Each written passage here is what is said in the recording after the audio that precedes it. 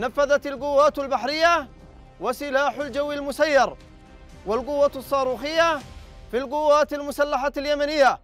عملية مشتركة استهدفت سفينة ام اس يونيفيك الإسرائيلية في خليج عدن وذلك بعدد من الصواريخ البالستية والطائرات المسيرة. ونفذ سلاح الجو المسير عملية استهداف لعدد من الأهداف العسكرية للعدو الإسرائيلي في منطقة أم الرشراش جنوبي فلسطين المحتلة.